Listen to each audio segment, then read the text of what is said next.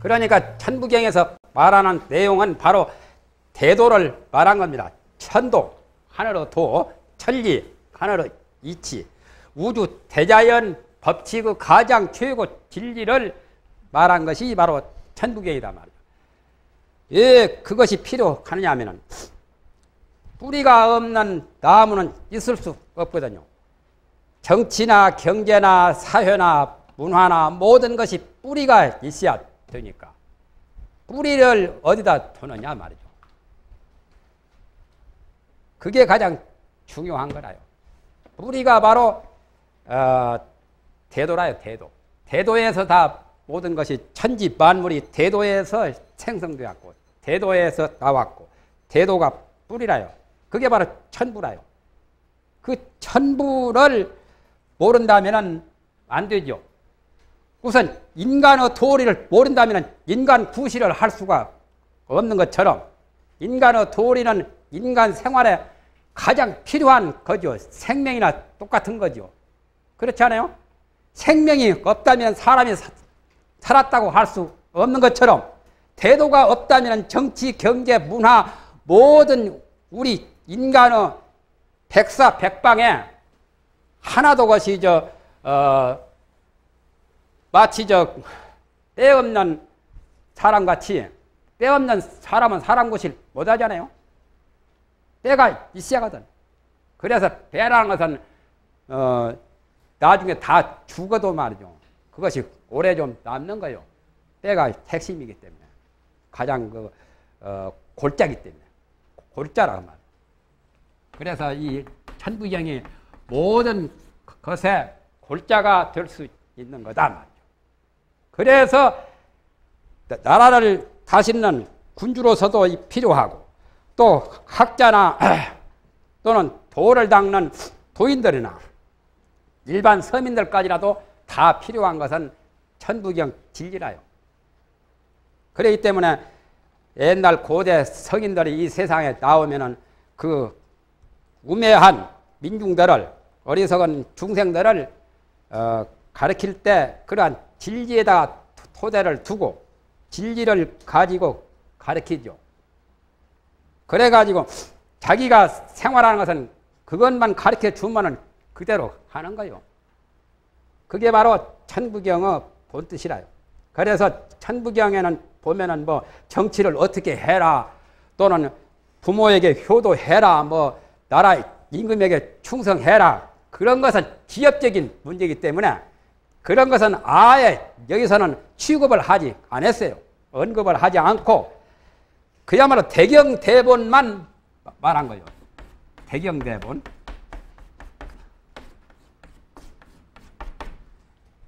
가장 큰 법과 큰 근본만을 말한 것이 바로 천부경이다 말이에요. 그리고 보면은 사실은 반야심경도 불경의 그 골자요 핵심이지만은 그것도 260자나 되잖아요. 많죠. 그런 가운데 이 81자로 된 것은 굉장히 간결하고 간단하고 더 숫자도 적으면서 어떤 의미를 제대로 함축성 있게 잘 말한 것이 놀라운 경이죠. 경이라고 하는 것은 성현의 말과 성현의 글을 경이라고 하지요. 가령 천추 만대에 변치 않는 법이 되는 어, 그것을 경이라고 합니다. 성인의 말씀을 성인의 그 글을 그래서 경이라고 하는 것은 변치 않는 불변, 상 또는 법 또는 이, 도 이러한 의미를 다 가진 거예요. 경이라는 것은. 그래서 경은 천추 만대에도 변함이 없고 항상한 법이요.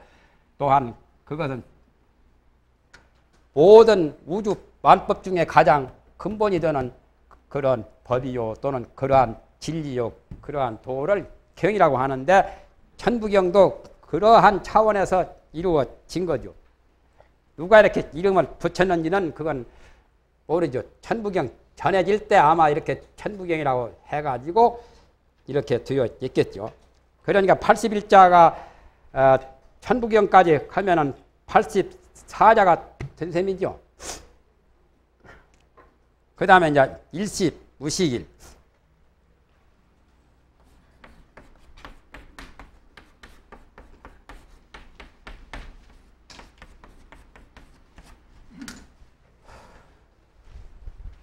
일십, 무식일이라. 하나로 시작하나, 일에서 시작하나, 시작함이 없는 일이다. 번역, 번역에 나와 있죠. 가지고 계십니까? 번역에. 일에서 시작하나, 시작함이 없는 일이다. 그 말이죠. 요즘 책들은 토를 명확하게 달기를 안 했고, 번역이 조금 구체적으로 나와 있지를 안 해가지고 그냥 다 산발적으로 되어 있어요. 이건 처음부터 끝까지 다 연결이 되도록 이렇게 토를 달아야 되겠고 또한 번역이 나와야 되겠기에 이것만은 토를 한번 달아보고 번역을 조금 해봤습니다. 그래서 이래서 시작하나 시작함이 없는 일이다. 이것도 해석을 여러 가지로 하지요. 또는 이런 시하나 시함이 없는 이런 시작을 하나 시작함이 없는 일이다. 그렇게 해석하는 사람도 있죠. 그렇게 하나 저렇게 하나 뜻을 알면 다 똑같죠. 일이라고 하는 데서 시작을 해요. 일이라고 하는 거. 숫자적으로 일이 가장 처음이죠. 1, 2, 3, 4 하니까. 그러나 숫자적으로는 일이 처음이고 가장 기본이 되겠지만은 그러나 여기서 말한 일은 꼭 그것만은 아니라요. 하나요. 하나란 말은 제일 유일무이, 유일무이한 존재란 뜻이죠.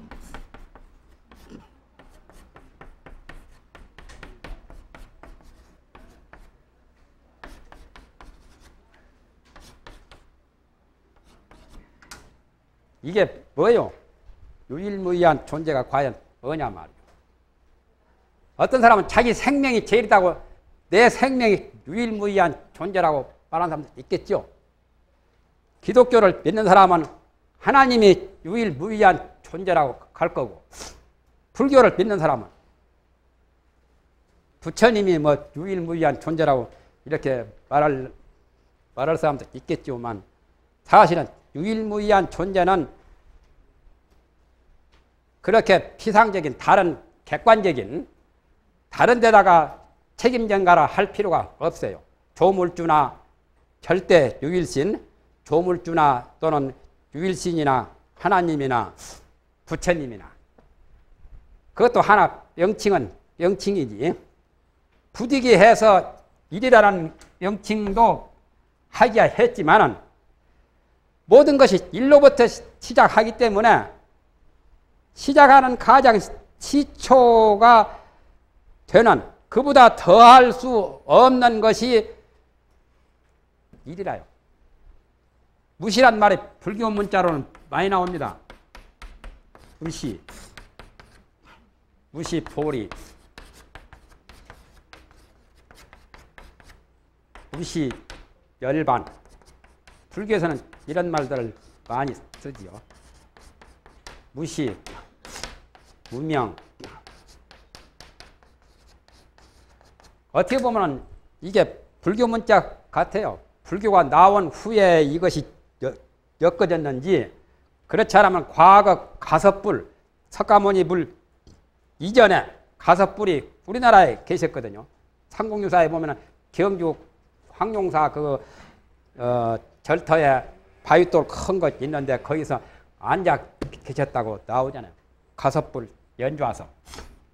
그때로부터 전해진 법인지 말이죠.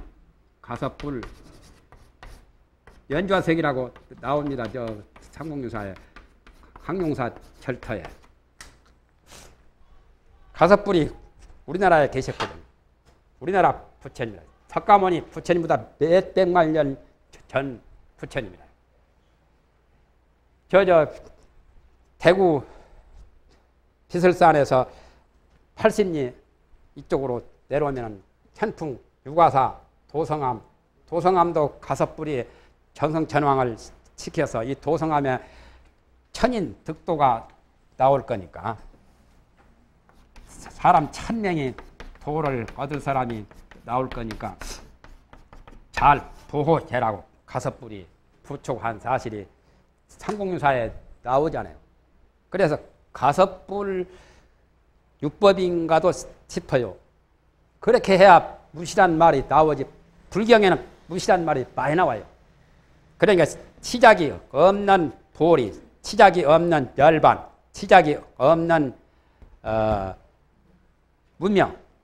보리랑 것은 불교 말인데 깨달음과 도와 지혜를 말하고 열반이라고 하는 것은 생사를 벗어난 생사를 해탈해서 죽고 사는 것을 벗어난 그런 경기가 최고 열반이고 부처가 되면 보리 열반을 얻게 되죠.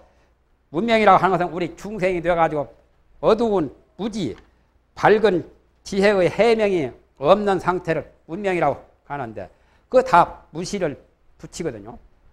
그러니까 무시란 말은 최초라는 뜻도 되고 그 이상 더 없는 거요.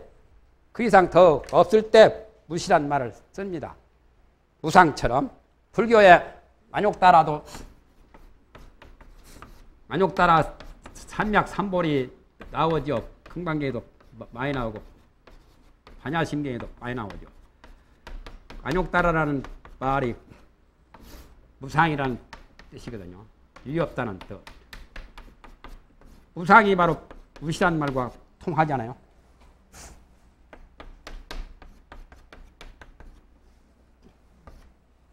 무시. 안욕따라는 범인데 안욕따라. 안욕따라 유의 없다는 말을 해요. 최상이라는 뜻이요. 그 이상 더 없는 자리.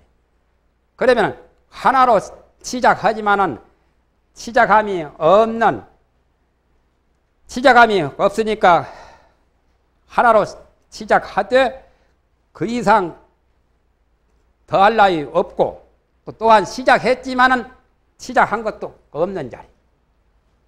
시작했어도 시작한 것이 없는 그게 있어요. 그것은 천지 개벽 이전에도 있었고 천지 개벽 이후에도 변함이 없는 자리요. 그 자리가 바로 일십 무시이라. 하나로 시작하되 하나에서 시작하나 시작함이 없는 하나다. 이거 알면은 천부경 다 안 가요. 뭐 더 필요치 않아요. 밑에 말은 다 구구한 그 가지가 뻗어가지고 지엽적인 해석이지 저거 알면 다 끝나요. 뭐 그게 바로 천부 원리가 바로 글자 다섯 자에 다 들어있어요. 줄이면 이 한자고 한일자고 더 줄이면은 그게 참 진짜 천부진자. 일까지도 떠난 그 자리가 정말 일이라는 관념까지도 떠난 자리가 진짜 천부요. 그건 부모로부터 나온 것도 아니라요. 부모가 낳아준 것도 아니에요. 소광결 선생은 이렇게 읊었죠.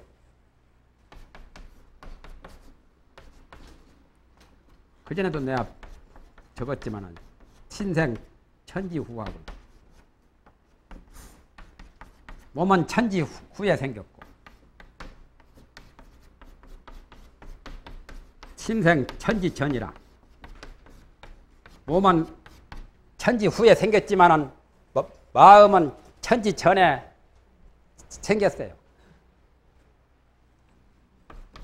천지도 자출이